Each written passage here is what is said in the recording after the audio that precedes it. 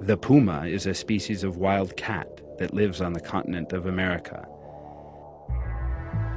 It is the continent's largest cat, being between 1 and 2 meters in length and weighing between 35 and 85 kilos. Its ears are small and their tips are covered in darkish fur. The puma, the most powerful member of the cat family, has very sensitive powers of hearing. With its black nose, it is constantly seeking out scents. Its feet are wide and make full contact with the ground. This in turn makes it very hard to sense their approach.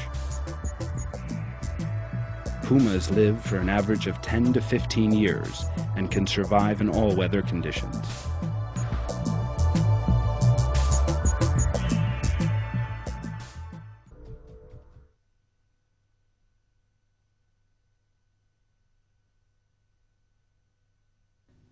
Does he who created not then know? He is the all pervading, the all aware.